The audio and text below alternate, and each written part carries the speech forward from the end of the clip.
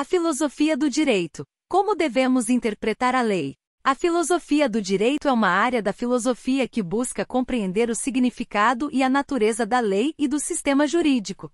Ela se preocupa em entender como as leis são criadas, interpretadas e aplicadas, e como elas podem ser justificadas moral e politicamente. Uma das principais questões que a filosofia do direito se propõe a responder é: como devemos interpretar a lei?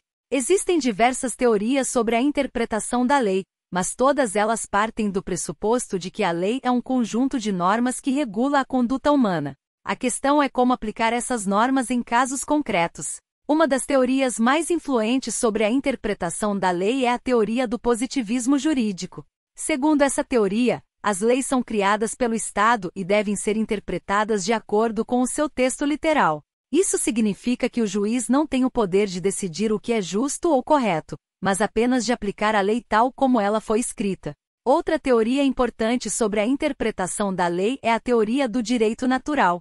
Segundo essa teoria, as leis devem ser interpretadas à luz de princípios morais universais, que são independentes do Estado e da vontade humana.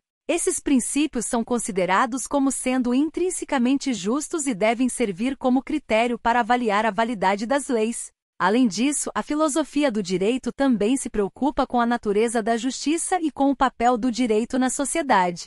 A questão central é: qual é o objetivo do sistema jurídico?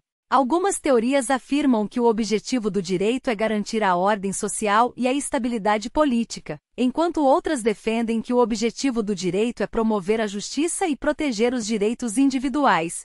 Em resumo, a filosofia do direito busca compreender a natureza da lei e do sistema jurídico, bem como os princípios morais e políticos que devem orientar a interpretação e aplicação das leis é uma área fundamental para quem deseja compreender o funcionamento da justiça e o papel do direito na sociedade.